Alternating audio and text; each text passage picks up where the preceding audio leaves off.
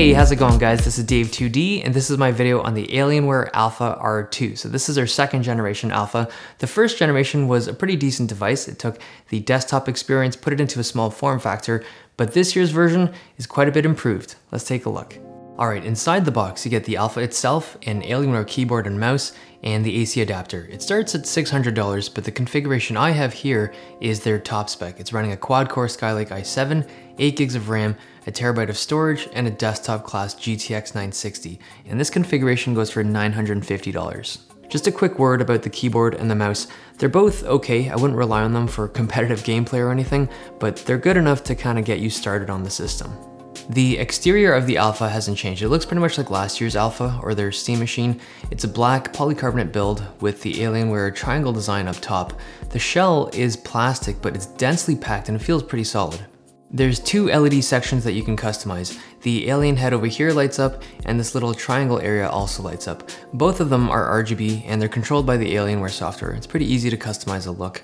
For ports, we have four USB 3s, two in the front, two in the back, and HDMI 2.0 in and out, so this lets you do pass-through of other devices.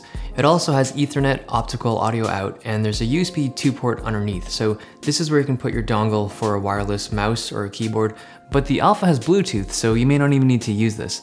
Now, it's missing analog audio jacks, so if you need sound, and you probably do, you'll either have to use a USB headset or to use the jacks on the back of your display. Either way will work.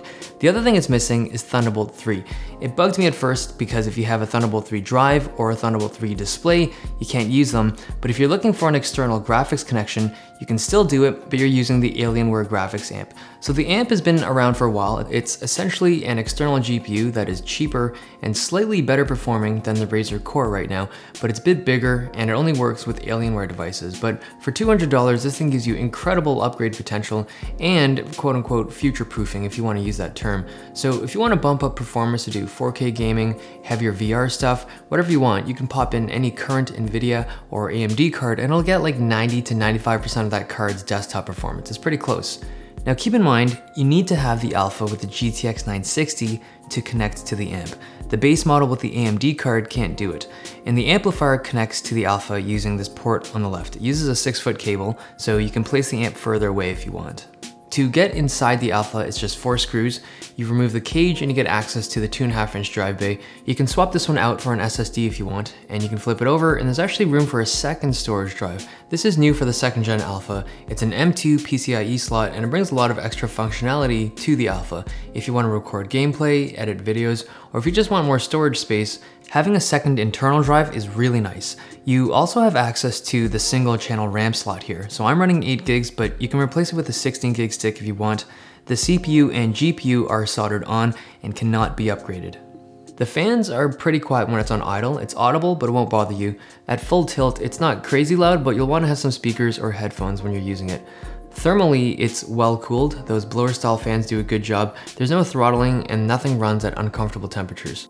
Gaming performance is good. Remember, it uses a desktop class GTX 960, not the 960M that we often see in laptops, but the legit desktop version. So lightweight titles run really easily on this. CSGO and Superhot won't even break a sweat on this thing at max graphics 1080p. Something a little heavier like Overwatch still runs really nicely on Ultra and even Epic graphics at 1080p. It'll maintain 60 frames per second or higher. And in general, moderately demanding 3D titles run really smooth. Now heavy titles, it depends on the game, but stuff like Far Cry and Witcher 3, you can run it at 60 frames per second at 1080p, but you'll need to drop down the graphics setting to around medium. VR on the built-in GTX 960 isn't really viable. The spec sheets don't lie, you do need a GTX 970 or better. If you connect the Alienware graphics amp, performance is gonna be way better as long as you're running an appropriate card. It depends on the card you're putting in, but if you drop in a 970 or better, VR becomes super smooth. And if you drop a GTX 1080 in there, 4K gaming becomes a thing.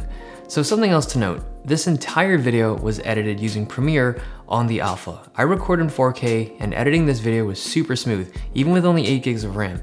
That second internal drive and of course the GTX 960 are really nice for video editing. The AC adapter is 180 watts. It's not too big, but if you plan on traveling back and forth with an Alpha, maybe pick up a second adapter so you can leave one in both places. That way you don't have to bring the adapter with you. So if you spec it out right, the Alienware Alpha can be anything. It's simple enough to be someone's first PC, it can play games and even do VR if you're using the amp. It can also be a small media center for your living room, so you can just plug it up and start watching movies or you can download Hivemind from Alienware, which is like a media hub for all of your games and stuff, and you can customize it and you can launch all of the games and apps with a controller while you're sitting on the couch. That's kind of cool. You can also use it as a console-like gaming system. So if you connect a wireless controller, you basically have a console killer. And you can also run it as a portable work PC. So if you have two locations that have a monitor and a keyboard, so let's say work and home, or if you're a student, your dorm and your parents' house, it's super easy to transport this thing back and forth. And every time you plug it up, you're getting the full desktop experience. And that's really its strength. You get all the functionality of a desktop with a GTX 960 in a box the size of a Nintendo Wii.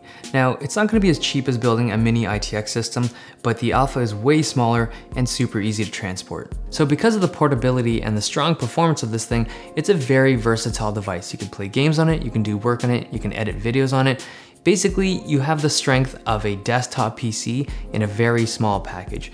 Now, having a super powerful computer that's also really small obviously isn't everyone's dream, but if you've been looking for a gaming laptop because you want portable performance, also take a look at the Alpha. It might be a good fit. That's the end of this video. Hope you guys liked it. Thumbs if you liked it, subs if you loved it. It's been nice. I'll see you guys next time.